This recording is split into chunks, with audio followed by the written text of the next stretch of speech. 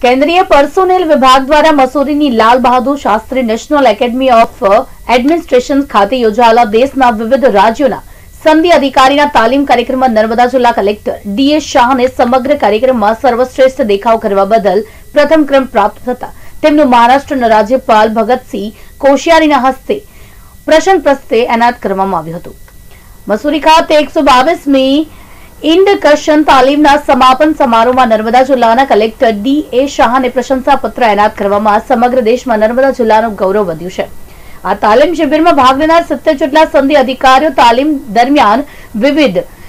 assignment book review, presentation, leadership module, IDCT module, group morning, weekend extra activities વિવિધ પ્રવૃત્તિઓ અને છેલ્લે online exam સહિતની તમામ બાબતોમાં સર્વશ્રેષ્ઠ દેખાવમાં પ્રથમ સ્થાન હાંસલ કરવા બદલ મહારાષ્ટ્રના મહામહિન રાજ્યપાલ ભગતસિંહ કોશિયારીના હસ્તે શાહને પ્રસ્થાપિત પત્ર અને સ્મૃતિચિહ્ન એનાયત કરી તેમનું બહુમાન કરાયું હતું.